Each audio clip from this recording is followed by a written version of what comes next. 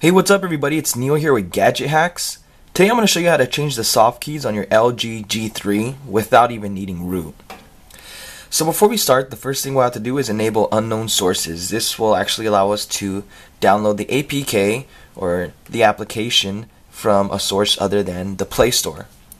So you just go down, go into your settings, look for security, and just go down to unknown sources and make sure this thing is checked. The next thing you'll want to do is check out one of the styles in the guide and on your device install the corresponding file to that style. So I have it on mine, it's under my downloads. So let's go ahead and do the Call of Duty one. So after you download it, you're just going to go ahead and install. And you're just going to hit done. Now, the great thing about the LG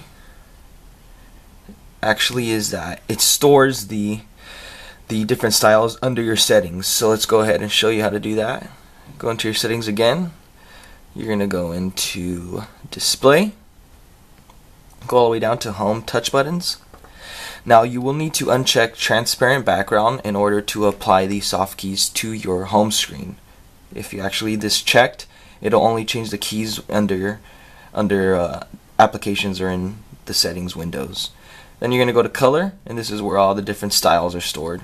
So stock, you have the top four. You have white, white gradation. You have black, black gradation. And then I installed the ones after that.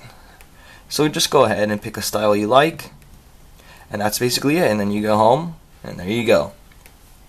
Now you do have to have this black background on the soft keys. It's not a big deal, but just be aware of that. It's pretty simple and definitely check out the full guide so you can check out the different styles. I also link out to a couple of threads that come packed with even more styles, so definitely check that out. Don't forget to like, comment, and subscribe for some more awesome gadget hack videos, and thanks for watching.